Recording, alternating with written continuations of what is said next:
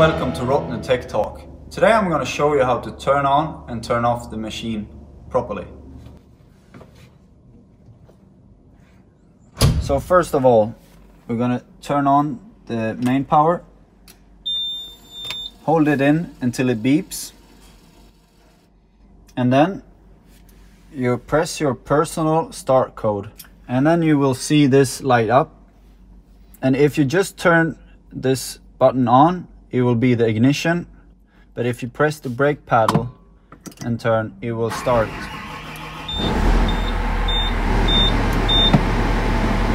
So now we can turn on the computer.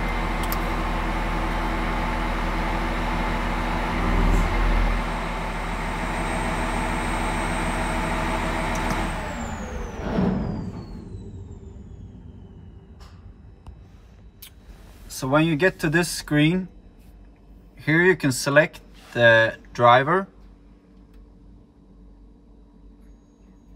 And then you just press OK. And now we are good to go. So when you're done for the day, we can start by turning off the machine. And then press start and then quit. Do you really want to quit? Yes. So now we can turn off the computer and then hit the main power until it beeps. So now the AdBlue will repump back to its tank and now we're good to go. So that was it for today. See you next time.